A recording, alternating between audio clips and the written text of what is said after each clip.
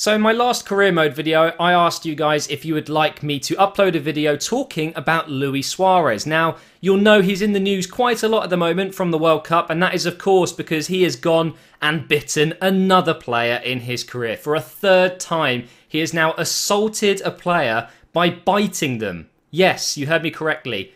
Biting. Yeah, like like toddlers. Um, so what I wanted to do was talk about the ban that he's received. If you didn't know, breaking news this afternoon is that Luis Suarez has been banned for nine games internationally and four months of football activity in general. Probably not enough, if you ask me. We're going to get more into it in the um, in the video, and also I'll be showing you pictures of what's happened in his career in terms of biting players because there might be a few people who haven't seen them. So he bit a player while he was at Ajax. He bit a player um, when he was playing against Chelsea. He bit Branislav Ivanovic, and now he's gone and bitten Chiellini of Italy. It's an absolute joke. Some of the pictures you'll see.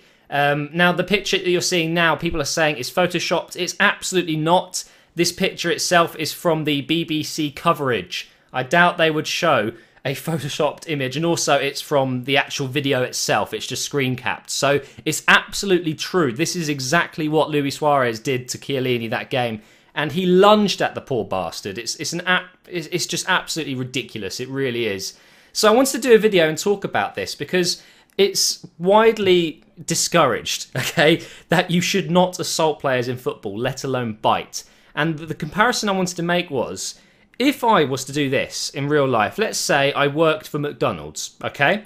I was so angry at someone who was ordering food, I decided to bite them. The first attempt, I would definitely be arrested. It would be assault. I would get a criminal record, and I'd probably get some sort of community service. Um, you know, I don't think I'd go to jail for the first attempt. Um, it wouldn't be jail time, but I'm pretty sure I would get a hefty fine and, yeah, a criminal record. The second time, I think it's quite possible that you could get a couple of day, couple of days in jail. Um, you would definitely get community service, definitely get some fines, and a huge warning that if you did this again, it's jail time. You know, a really nice amount. I, I, forgot to mention the first time I'd be fired, by the way. The first time of biting someone, you'd be fired on the spot by your boss, just saying. Second time, God, you wouldn't be able to get a job anywhere. But third time, it's definite jail time, a massive fine, community service, and you would never get a job again. So I'm just saying, because he's a footballer, it's okay. Basically, if you're, you know, like Luis Suarez, you've been racist, you've bitten people three times, um, you're you're basically okay as long as you're a professional footballer, guys. So if you're out there and you want to bite some people, just make sure you're a professional footballer first, because then it's okay. So, what do I think should have happened to Luis Suarez? Well, they've done it basically. He should be banned from the World Cup, so he is now missing from the rest of those games. He's got obviously nine games banned. Um, I would then ban him from the Premier League for, I think, up to six months. I, I'd say January should be when he can play again. So I'd ban him for six months, half the season, and I would also, I know this sounds really harsh, but I would terminate his contract if I was Liverpool. I would say that is it. You've breached your contract three times now. You know, footballer contracts are quite basic in terms of there will be some sort of, you know, you must not assault players and tarnish our reputation in there. He's done it three times, and it's not just from assault, from biting people, it's all the diving, all, all the controversy like that, the racism towards Evra and he's done it so many times now that Liverpool, I think they're running out of options. They've tried so hard to get behind Luis Suarez, and each time it's gotten harder and harder and harder. In the last World Cup, he did that handball against Ghana, which obviously, um, you know, the goal was going in, or the ball was going in. He handballed it, got a red card, and then they missed the penalty, and Uruguay went through. Now, everyone said there, there was actually mixed opinions. Some people said I would have done the same, so I don't blame him. But then there's people like me who are of the opinion that it's it's just cheating. It's not fair at all. I don't think I would have done that. I know it's my country on the line here, but it's cheating. That goal was going in. You shouldn't cheat. It's as simple as that. And I think you know it just shows that this guy is not a professional. He's absolutely not. And therefore, if I was Liverpool, I'd be terminating his contract. But in a way, I wouldn't because they need to make money off this guy. Luis Suarez is one of the best footballers in the world, and that is why this is such a shame. He is a fantastic player let down by his stupid, stupid things he does on the pitch.